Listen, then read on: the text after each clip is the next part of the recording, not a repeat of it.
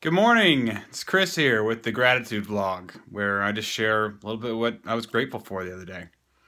So, I'm really grateful um, for uh, the for being able to record things, um, and I, am and being able to reflect back on them. Um, when I got back from the punching,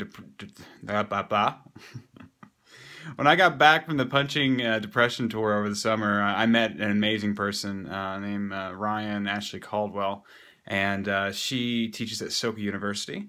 And she mentioned to me that she was going to uh, assign her students to uh, take part in my gratitude project.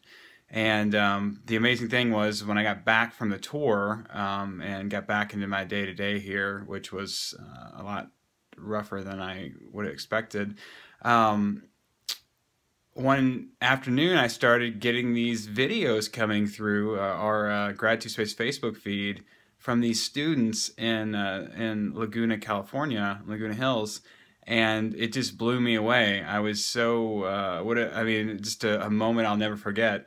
And um, I was looking at them again last night, and that's why I'm so grateful for um, being able to do that, to be able to watch those and reflect and and uh, see those emotions again and and, um, and relive that. It's a beautiful thing, and and part of the the reason I'm so grateful for Ryan again um, is that she and I are.